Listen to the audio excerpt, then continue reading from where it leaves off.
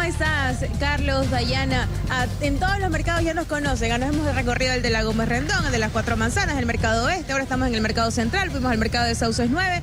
Pero en definitiva, y bueno, y esto sin mencionar que estuvimos en Montebello. ¿Y qué es lo que podemos notar?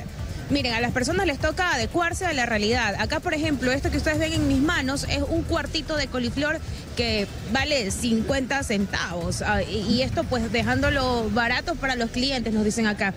Cuando en realidad antes la coliflor, el, pues, todo valía 50 centavos. Y toca venderlo así. Así también ustedes pueden ver pedacitos de, col, pedacitos de, de lo que antes se podría encontrar entero. Manuelita, usted me contaba que ya en este prácticamente cuarto día de la tercera semana de movilizaciones acá en el país, hay cositas que ya las encuentra más baratas como el tomate. Me dice que antes la caja de tomate valía 50 dólares, ¿ahora cuánto lo ha comprado? 30 dólares. 30 dólares, ok. Y por ejemplo, ¿qué pasa con la papa? ¿Ya también ha bajado un poquito? 25 dólares vale saco de papa. Vendemos a 30, 3 libras por un dólar, según cómo le sale. Ya le toca, ya entonces empieza un poco a, ver esta disminución. Sin embargo, gracias Manuelita por lo que nos cuenta. Otra de, la, de, esta tónica es que, a ver, los comerciantes van a comprar eh, todos estos víveres a Montebello y el tiempo que se demora en llegar estos víveres, estas legumbres hasta acá, se toma uno, dos o hasta tres días. ¿Y qué pasa? Llega el brócoli, así como usted lo puede ver, de esta manera, en este estado. Entonces, a algunos les toca comprar, le ha tocado comprar el brócoli así, ¿no? Sí, amiga, porque no hay, pues. La gente tiene que comprar. vale uno de esos tronquitos? Allá vale unos 50 vale cada uno. ¿Y usted a cuánto lo vende acá? A dos dólares para ganarme algo. Imagínese, un tronquito de estos. Este, un dólar esto. Un dólar. Un dólar.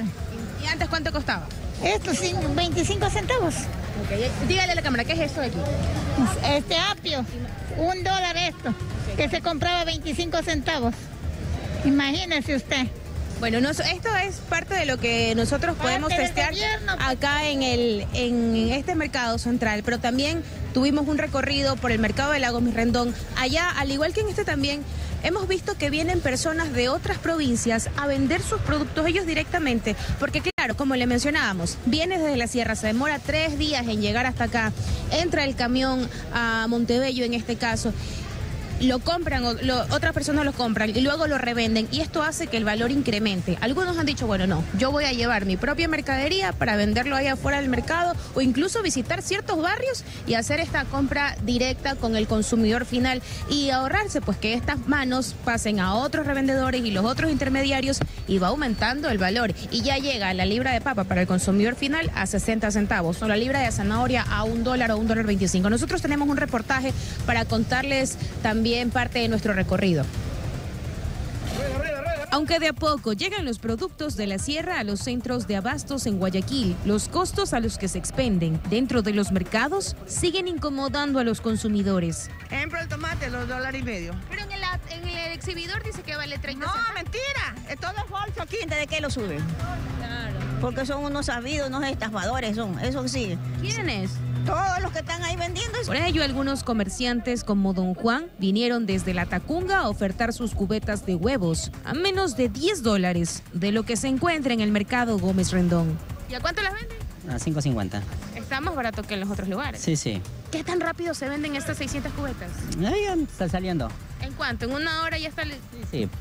Mm, claro. Precios elevados que afecta a los restaurantes y locales de comida, que ahora ofrecen platos acoplando las recetas con productos de la costa y pocos de la sierra. Difícil de conseguir todo lo que es las hierbas, todo lo que es vegetales. No estamos subiendo el precio, sino tratamos de dar un poco menos de lo que dábamos porque hay que nivelarnos con los gastos. Aquí en cambio nos cuentan que en esta tercera semana de tensión para el país ya no les quedó de otra que subir el precio de la comida. Corvina frita con la ensaladita, ¿cuánto la ven? 6 dolaritos. ¿Y antes? 5, 4, 5. No hay mucho la diferencia, pero... La cebolla y el tomate está súper caro. Y como ahora los almuerzos cuestan 2,75, esos 25 centavos más han repercutido en la afluencia de clientela. La clientela no viene a comer porque está muy caro, ellos buscan donde está más barato, el 50%. Menos clientela. Sí, menos clientela. Según la Asociación de Restaurantes del Guayas, el impacto se refleja en la caída de las ventas en estos comercios que ya venían luchándola con los efectos de la inseguridad. El descenso en ventas llega hasta el 60% en promedio en la provincia, que entre préstamos y readecuaciones al menú están resistiendo, pero no saben hasta cuándo. Vanessa Robles, 24 horas. Y así como dice la gente, con un pedacito de oro en mis manos, yo me despido. Esto es col. Vale ahora mismo un dólar este pedacito. Y una col entera puede oscilar entre 4 o 5 dólares. De la misma manera el zapallo, esto está a 50 centavos cuando antes valía mucho menos que esto, pues y la cantidad era mayor. Ese es el movimiento, el comportamiento acá en el mercado central. Ustedes siguen con más. Buenos días.